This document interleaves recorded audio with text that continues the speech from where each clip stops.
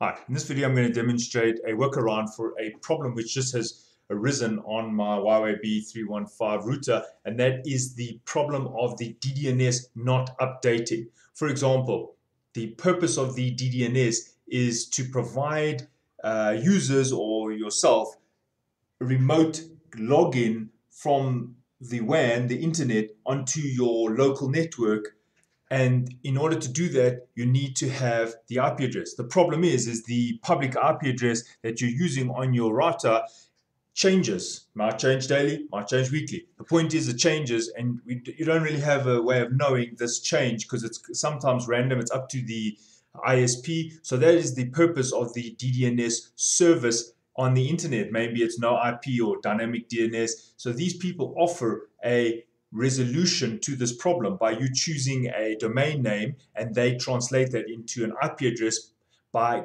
obtaining the IP address of your router constantly every five minutes or so.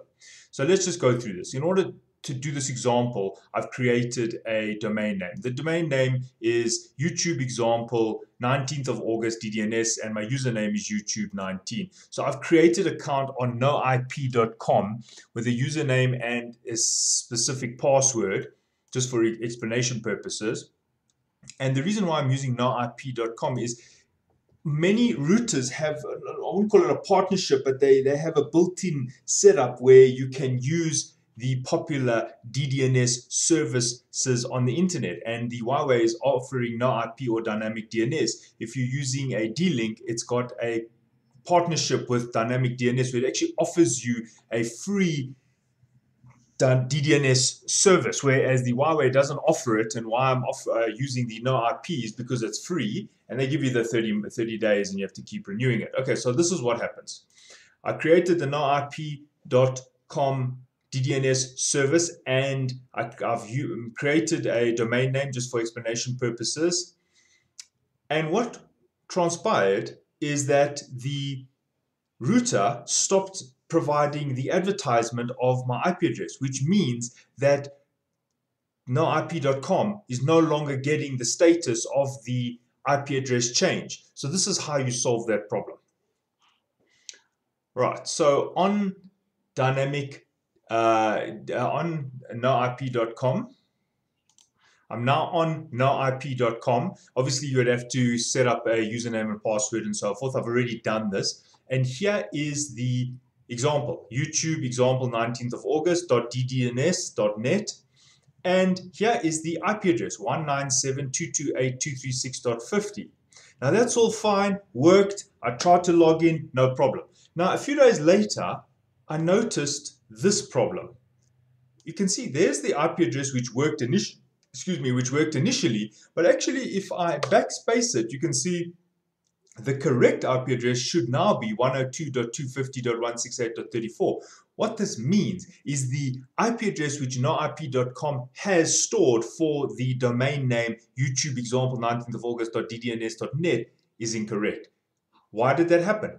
Because the router is not providing the update to noip.com server. Remember, noip, all they're really doing is a pointing service and when you look for YouTube example 19 August.ddns, no IP will point you to the correct IP address. But if they do not have the correct IP address, it's not going to work. So I contacted noip.com and they said, no, they have some software that allows you to work around this problem. So you need to download their software and I'll, I'll set it up and I'll show you what it does. But just to recap, the reason for this video is that the IP address there, 197.228.236.50 was the IP address which was initially on my router. Obviously, uh, router re uh, re um, got restarted and a few days have passed and then it actually got the IP address changed. Now, what that means is that noip.com should get a status update saying uh, hello, my your my uh, IP address has changed, but they didn't. So they are sitting with the wrong IP address. Therefore, when I do a quick update, it's picking up my IP address as 102.250.186.34. So this is a workaround until maybe Huawei or whoever your service provider is, your router manufacturer, fix this. And I noticed this occurred straight after a software update on the router. So I, I still need the the uh, DDNS service to work. I can't wait for software update. So I'm now going to use NoIP.com's software, which has to be installed on a local PC in order to work around this issue. Now I'll show you how to deal with the problem using NoIP.com software. Right, I've downloaded NoIP.com's software. I'll show you where you download it.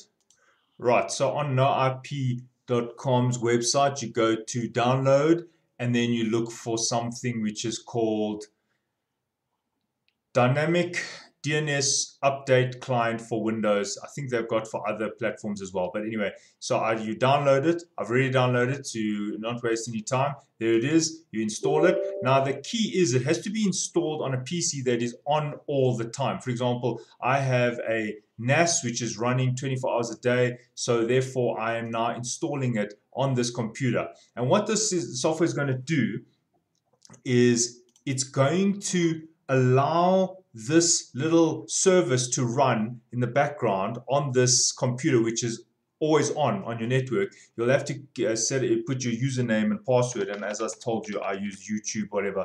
And your password, you'll sign in. And what it'll do is every five or so minutes, it will send an update to noip.com just uh, telling them what your current IP address is. So it's kind of bypassing the router status update, to, which is not working. So this is the workaround.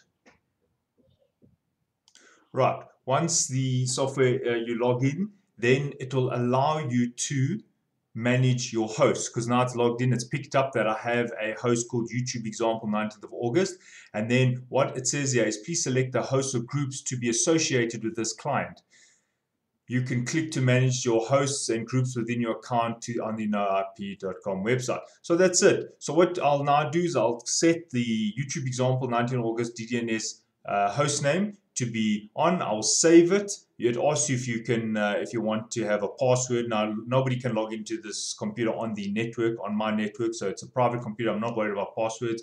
And then I'll just say save. And then what will happen is this service, the DUC uh, no IP's DUC version, whatever, 4.11, will then run in the background and every five or so minutes it will send an update to noip.com, which will then update the IP address when the ISP, Internet Service Provider, keeps changing it on my router because the router was not providing that service. Something's gone wrong, and that's how I am working around that problem. So, to sum up, if you're having a problem where your DDNS is no longer getting the latest IP address from your router then and you are using no IP, then this is how you resolve that problem.